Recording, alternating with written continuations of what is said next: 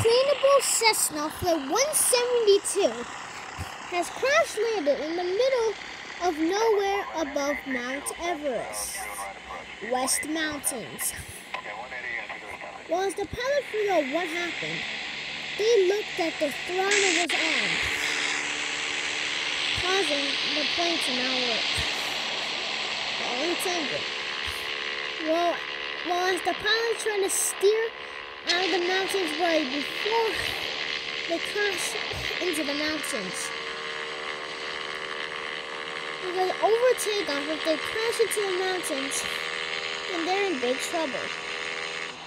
Well, as the plane takes off, Captain Ruzek 2 is the new senior pilot that just got on board and, and let the other people survive and go well. Well, as they get some fresh air, they close back the doors.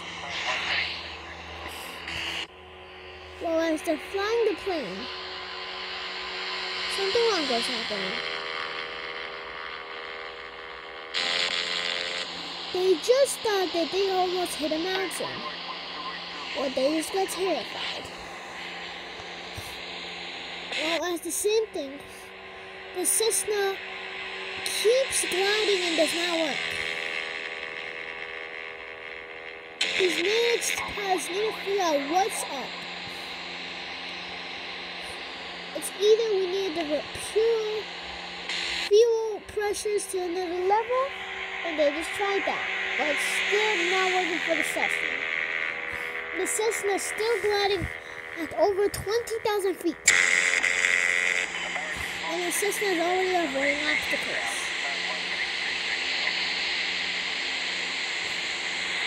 But as the first officer tries to land, he decides to pull the throttle button, which causes the plane's only engine to not work. As they try to make an emergency landing back near a mountain or somewhere that's safe, the captain figured out something wisely. Down to 16040 If they're around 6,000 feet their glider control worker is not working, then something must be wrong with the fuel gauges or the altitude or something is wrong with the plane. As the captain looks for a problem, he does not see any problem from now. As Cessna 172 crashes into somewhere around the Mount Everest. To be continued for Cessna 172.